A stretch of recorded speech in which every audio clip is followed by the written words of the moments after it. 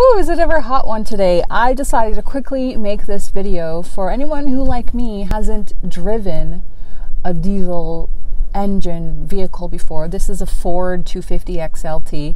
It's an old truck, and there's just like a couple of little things that I realized that, I mean, I wouldn't have known. So I thought, you know, I'm making a video about this in case anyone's wondering. So the first thing I well, tried to Google and couldn't find any answers for. And it may seem very elementary to most people, okay? I'm not your normal driver of this kind of a truck, although I am now sold on it. I like it quite a lot. Um, but there are two fuel tanks. So I remember seeing them and thinking, oh, I've never seen that before. What could it possibly mean? Um, I was thinking, is one kind of fuel and one's another kind of fuel, or like, I don't know. They're actually just for more fuel storage.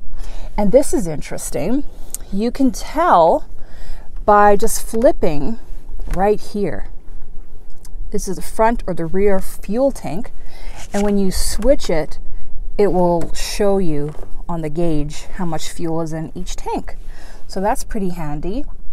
Another thing I realized after the fact was that if you want to put this vehicle into 4 uh, by 4 um, and I, which I had to do because I was going down to the reservoir to get some rocks, and it was a little bit um, some hills and stuff like that. So you put it in four by four, but then you also want to go down here, and when it's in four by four, hold on, yeah, when it's in four by four, you want to make sure you've got the wheel lock.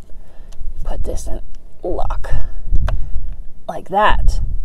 And when you aren't using it in 4x4, you make sure it's like this.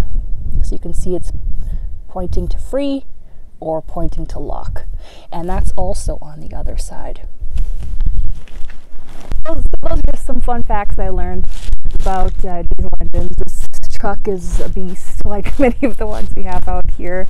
Um, I'm really starting to have an appreciation for them. It's quite fun driving them and uh, they're really good for farm type things. I hope this video helps someone, maybe a newbie like me who doesn't know these little things. And if this kind of video is popular, maybe I'll make some more, like little things that people who weren't raised on a farm don't know. Uh, myself, I spent summers on a farm when I was a kid, but there was a lot of things that, you know, I still didn't learn. Some things I did, some things I didn't. So, yeah. I have a video about how to drive a tractor. Maybe I'll post that next. Thanks for watching.